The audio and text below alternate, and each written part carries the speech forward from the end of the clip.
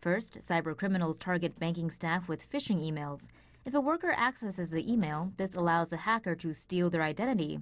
The hacker then uses these stolen digital credentials to enter the banking network where they begin to comb it for data on their target. This is known as lateral movement. The hack is commonly seen in places where banks' main networks and ATM networks are not separated. Once said data is acquired, the hacker gains access to ATMs.